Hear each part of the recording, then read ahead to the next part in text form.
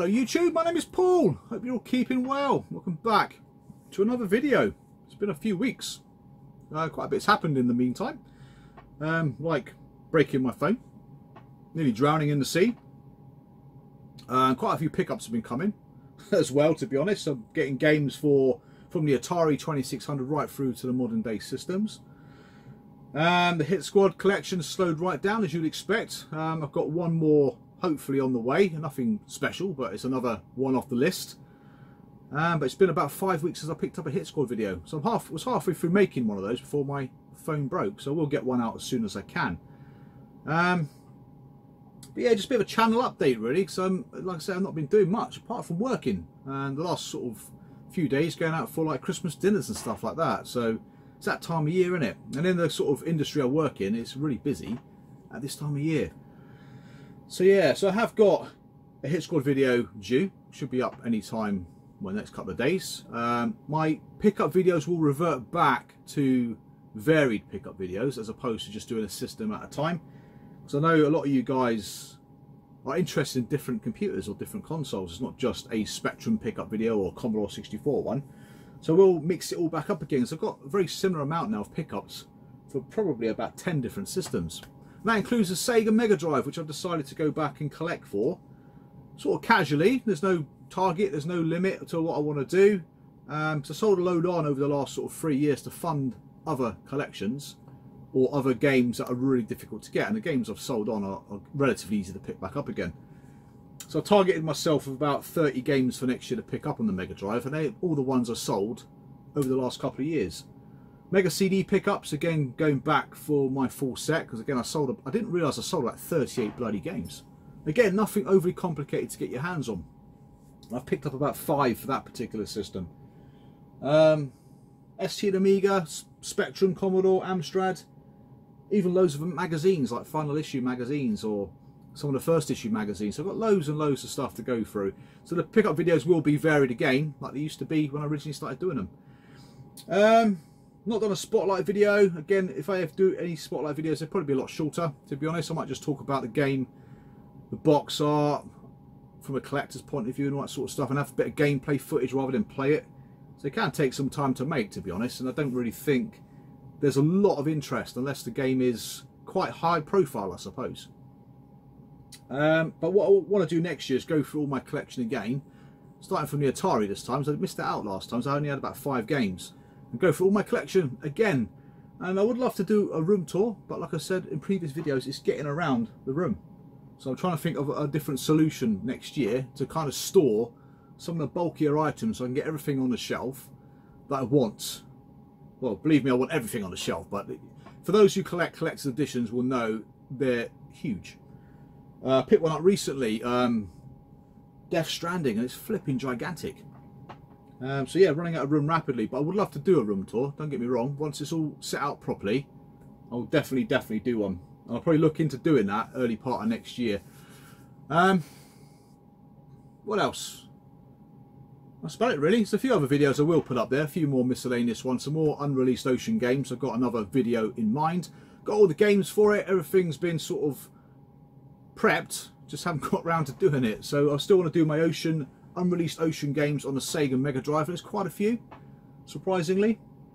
Um, but yeah, the competition results, get them out as well, just to see who's uh, won the previous competition. But I want to do something a bit different with the competition next year, because I need a lot of input um, for a particular subject. So what I'll do is I'll do those videos near the time, talk about what I want to talk about. But yeah, your input would be great, because it could decide what games are the best what are the best games on a particular system. Could be the Amiga. I might even start with the Amiga because it is a system close to my heart.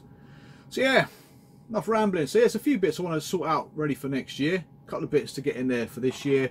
Um, but generally, yeah. So yeah, be careful when you go and walk the dogs down the beach. Even though the tide was out when I took the dogs out, the waves must have been about 30 foot tall. I'm not joking. There's people out there surfing away, having a whale of a time. The tide was out. It must have been, I think it was a pretty stormy day. Well, had been a stormy day, but the seas were quite rough. And North Cornwall uh, coastline is, is very rugged in places. It gets battered to crap by the sea. But yeah, we walked the dogs. We originally walked through a load of like rocks, and in between the rocks you got like big puddles, so got a bit wet going that way. Um, on the way back, we thought we'd go around the rocks. Uh, generally, when the tide is out, it's quite far out. But on this particular day, it wasn't. When the waves were crashing in, some of the waves came up to sort of like my ankle. So I was already wet anyway from the flipping walking through the rocks. But this particular wave came in, it was up to my flipping waist. Jesus Christ, I can't swim. So I literally got drenched. Then I fell into one of these holes that had been causing the puddles around the rocks. And he went face first into the sea. So that was quite hairy. Poor little dogs didn't flipping know what hit them. But they were fine. The missus was trying to sort of clamber out of her, her own hole, but I think she was laughing her flipping head off at the fact I kind of nearly disappeared. But yeah, so that's why the phone broke. It was working when I got it out of my pocket, and then the salt must have just killed it. So I literally got it out of my pocket at home, it just died.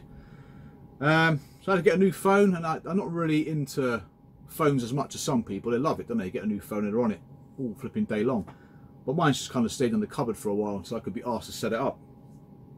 Um, just couldn't transfer the data across because the other phone was dead.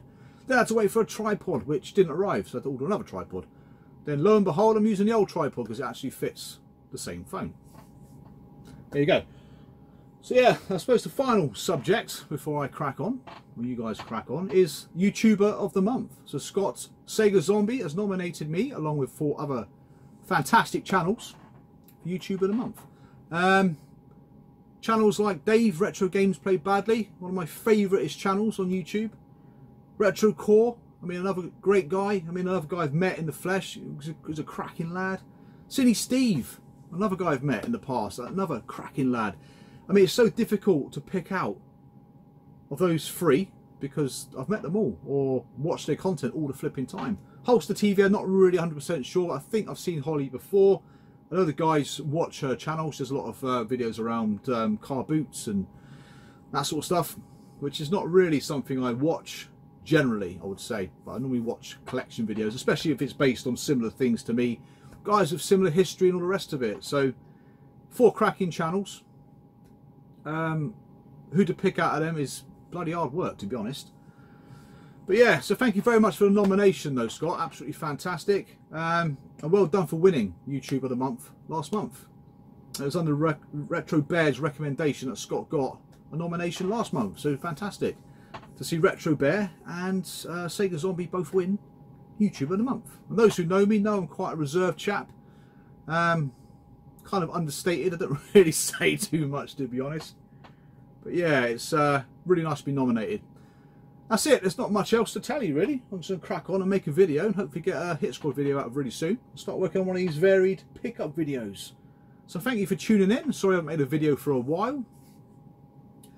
I'll see you guys again real soon. And thank you for those who've come across and subscribed recently maybe got a bit more of insight as to what my channel is kind of about really. It's all about me and my collection and meeting people that I've never met before and also have similar interests and hobbies to myself. That's it. So thank you very much for watching. Thank you very much for subscribing and I'll see you again real soon. So take care and bye for now.